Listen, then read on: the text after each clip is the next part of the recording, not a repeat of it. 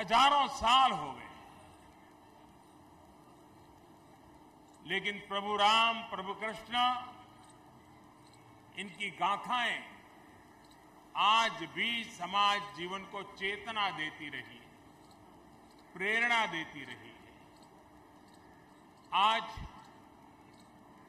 नवरात्रि के पावन पर्व के बाद, विजयादशमी के पर्व पर रावण दहन की परंपरा है।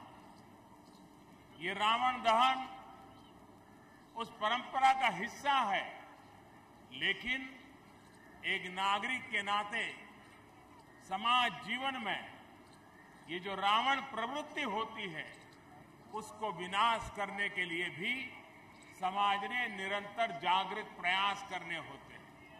और ऐसे उत्सव से सिर्फ़ मनोरंजन नहीं कोई मकसद बनना चाहिए। ऐसे उत्सवों से कुछ कर गुजरने का संकल्प बनना चाहिए।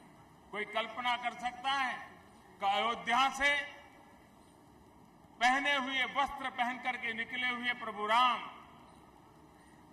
पूरे रास्ते चलते चलते संगठन शक्ति का इतना बड़ा कौशल्य बता देते हैं कि श्रीलंका विजय में समाज के हर तबके के व्यक्ति उनके साथ जुड़ गए। नर भी जुड़े, वानर भी जुड़े। प्रकृति भी ने उनको साथ दिया। लोक संग्रह की कितनी बड़ी अद्भुत शक्ति होगी, तब प्रभु रामचंद्र जी ने इतने बड़े सामर्थ्य को अपने साथ जोड़ा होगा। और विजय प्राप्त करने के बाद भी उसी नम्रता के साथ जन समाज को अपने आप को आहूत करने में लगे रहे। ऐसे आज विजयादशमी के पर्व पर हम भी संकल्प करें कि 2022 जब भारत आज़ादी के 75 वर्ष मनाएगा, हम भी कोई संकल्प करें, हम भी कोई सिद्धि के लिए रास्ता चुने और 2022 तक एक नागरिक के नाते देश को कुछ न कुछ सकारात्मक योगदान दें, कुछ न कुछ कंट्रीब्यूशन करें।